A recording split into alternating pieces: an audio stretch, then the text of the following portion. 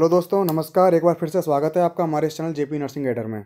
जैसा कि आपको पता ही है कि हमने आपसे प्रॉमिस किया था कि पीजे संगोर और आपका एस जी पी लखनऊ की वैकेंसी आ गई। एस जी पी की वैकेंसी आपको डबल करके आ गई था इस बार आपके पास एक ग्रैंड मौका है कि आप एक नर्सिंग ऑफिसर बन सकते हैं और अस्सी हज़ार रुपये की सैलरी आप इन हैंड ले सकते हैं। ठीक है दोस्तों तो मैं चाहूँगा कि आप सभी लोग इस चीज़ के लिए अच्छे से प्रिपेयर हो जाएँ, अच्छे से अपनी तैयारी को मज़बूत कर लें, और इसीलिए जेपी नर्सिंग एडर भी आपके लिए बहुत अच्छी प्रिपरेशन के साथ आपके लिए एमसीक्यू सेशन लेके आया है।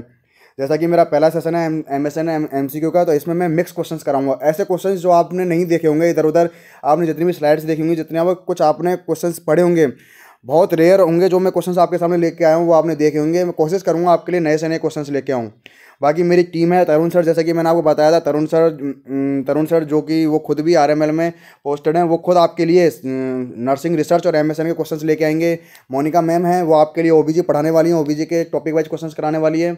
और उसके अलावा अपने प्रेरित सर हैं। प्रेरित सर आपको सी कम, क्या कहते हैं, पीडी, पीडियाट्रिक के क्वेश्चंस कराएँगे और राहुल राहुल सर आपको सी एच एन और उसके अलावा जो आपके S G P G I में नॉन नर्सिंग सिलेबस है। नॉन नर्सिंग सिलेबस के लिए गौरव सर हैं, जो कि सफदरजंग में पोस्टेड हैं, वो आपके लिए नॉन नर्सिंग सिलेबस कराएँगे। गॉट इट बाकी जो भी टॉपिक्स बचते हैं, जो भी, आपकी जो भी क्वेरी बचती है, वो सारी चीज़ें मैं कराने वाला हूँ आपको।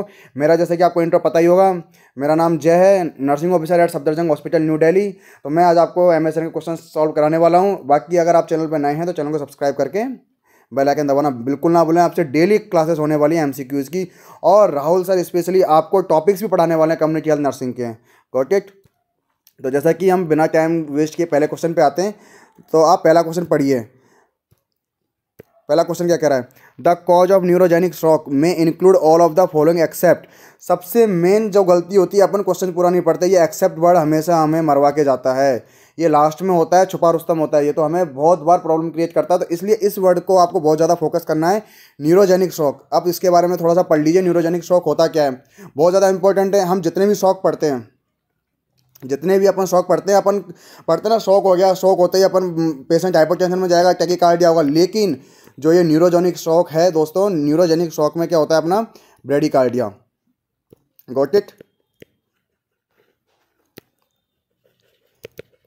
neurogenic shock में ब्रेडिकार्डिया प्लस वार्म स्किन आपको देखने को मिलेगी पिंकिस स्किन इसमें देखने को मिलेगी। ये की फीचर हैं न्यूरोजेनिक के और मोस्ट प्रोबेबली क्वेश्चंस आते हैं इसके अंदर से।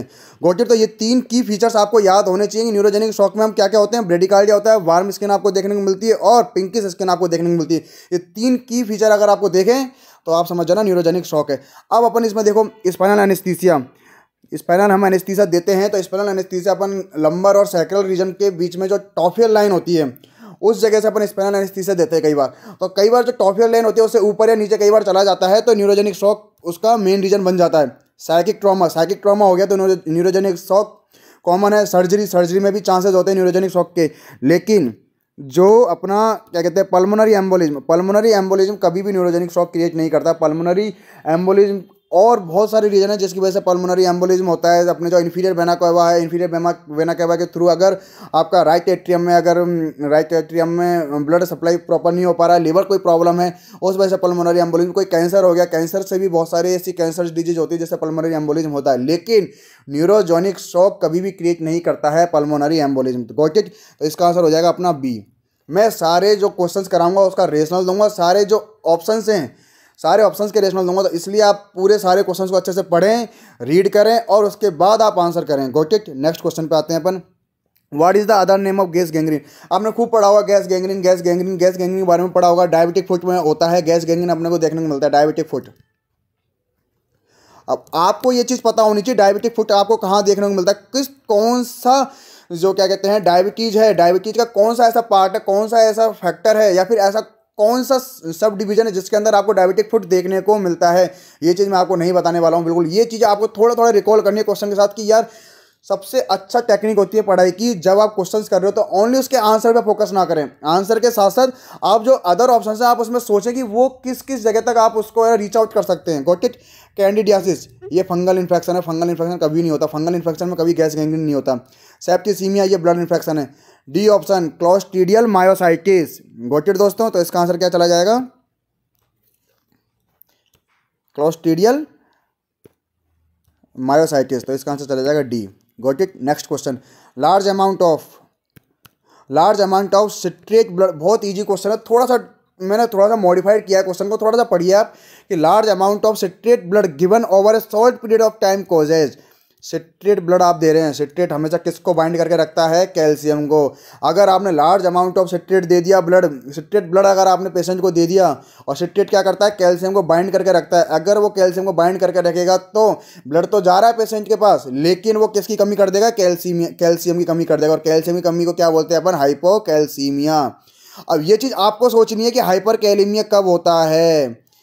ब्लड में हाइपर कैलीमिया वाला कोज भी होता है गोटेड दोस्तों। तो ये वाली चीज़ जब पुराना ब्लड है, पुराना ब्लड है, पोटेशियम टूट रहा है, पोटेशियम टूट रहा है, ब्लड के साथ मिक्सअप हो रहा है, आरबीसी टूट रही है, ब्लड के साथ मिक्सअप हो रही है, और ब्लड के साथ मिक्सअप हो रही है तो वो पोटेशियम आपका पेशेंट के ब्लड में जा रहा है, ब्लड में जा रहा है तो पोटेशियम लेवल को इंक्रीज कर रहा है इंक्रीज कर रहा है तो हाइपर कैलीमिया क्रिएट करा रहा है गोटेड दोस्तों। तो इसका आंसर चला जाएगा वैसे डी ठीक है नेक्स्ट क्वेश्चन पे अपन आते हैं।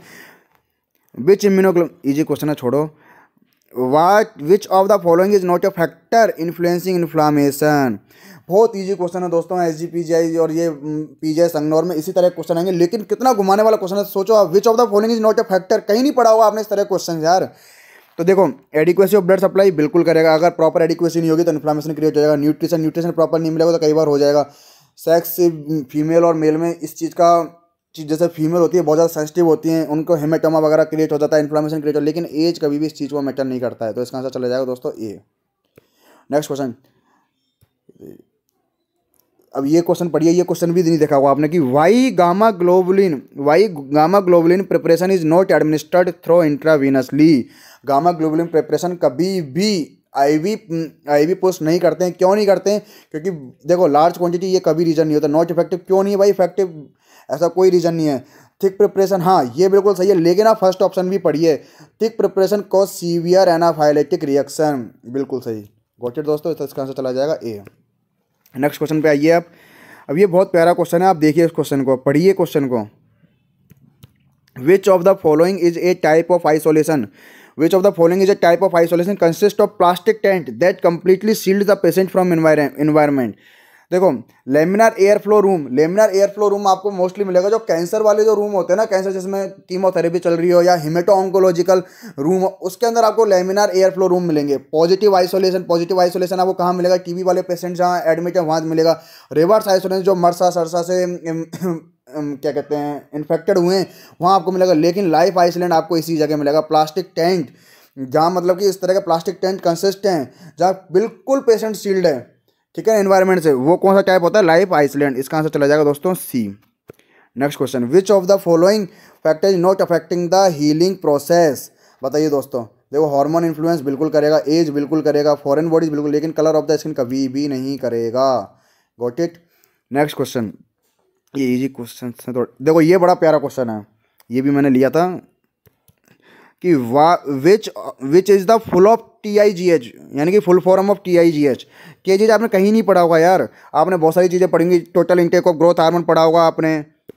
ठीक है? None of the none of the time incident goal hormone यही पढ़ा होगा। लेकिन टी आई जी एच की फुल फॉर्म होती है, ये सीधा याद करने वाला वाला क्वेश्चन है। इसलिए मैंने डाला है क्योंकि एस जी पी जाए एस जी पी जाए मेनली क्वेश्चन इसी तरह का पूछता है कि है ना, जहाँ बहुत ज़्यादा लर्निंग की ज़रूरत नहीं है, बहुत ज़्यादा सिर्फ़ आपको याद कर, याद करनी है चीज़ें बस। तो T I G H tetanus immune globulin human. Note down कर लेना दोस्तों बहुत इंपॉर्टेंट क्वेश्चन है ये। ठीक है? नेक्स्ट क्वेश्चन पे अपन चलते हैं कि an inflammatory response to a pathogenic organism is termed as बताइए इन्फ्लामेटरी पैथो कोई भी पैथोजन अपने बॉडी का एंटर बॉडी में एंटर हुआ इन्फ्लामेटरी रिएक्शन हुआ तो उस, उससे क्या होगा? सीधी सी बात है इन्फेक्शन होगा एनाफाइलेक्सिस क्या होगा? ओवर रेस्पॉन्स ठीक है? ओवर पॉजिटिवनेस ओवर रेस्पॉन्स होता है ना किसी भी चीज़ के लिए ओवर पॉजिटिवनेस अपन दिखाते तो हमेशा बुरी होती है तो ओवर रेस्पॉन्स दिखाना। जैसे अस्थमा क्या होता है? ओवर रेस्पॉन्स ठीक है? इन्फ्लामेशन एलर्जी बिल्कुल नहीं होगा ये तो इसका आंसर चला जाएगा A which type of stroke occur due to failure of the heart to pump बिल्कुल सही है कार्डियोजेनिक स्ट्रोक गॉट इट दोस्तों? इसको तो क्या एक्सप्लेन करूँगा मैं? कार्डियोजेनिक स्ट्रोक बिल्कुल इसमें टेके कार्डिया हो जाता है हाइपरटेंशन हो जाता है। गॉट इट अब इसमें आता है अपना।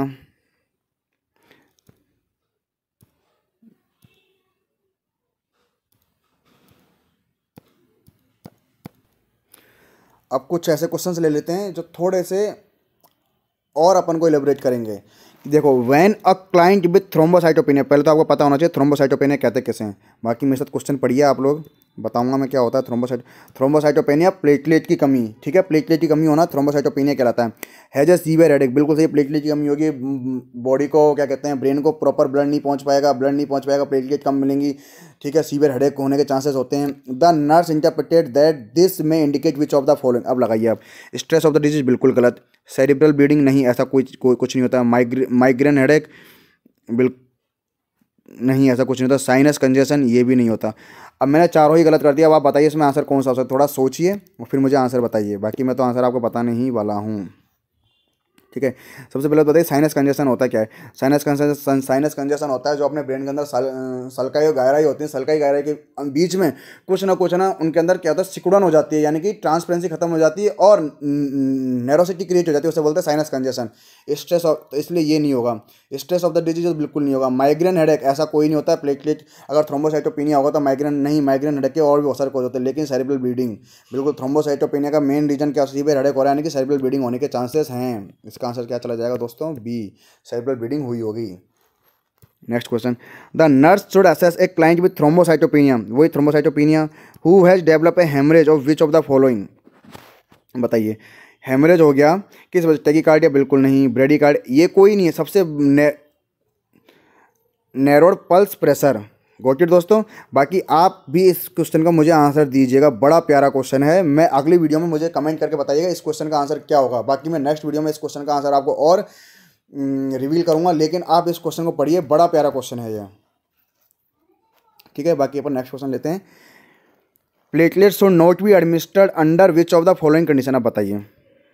प्लेटलेट कब आपको एडमिनिस्टर नहीं करनी है? Platelet are two days old बिल्कुल कर सकते हैं अपन। R D P R D P को अपन ऐसे ही करते हैं।